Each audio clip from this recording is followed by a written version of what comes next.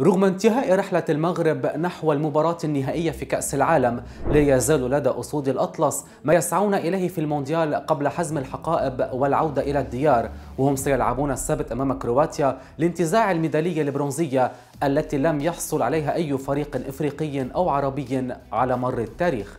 وليست خافية على أحد العلاقة الرائعة التي تجمع نجم المغربي أشرف حكيمي مع الفرنسي كيليان بابي وكان اللقاء في نصف نهائي كأس العالم فرصة للتعرف أكثر على مشاعرهما تجاه بعضهما البعض لدى خسارة أحدهما.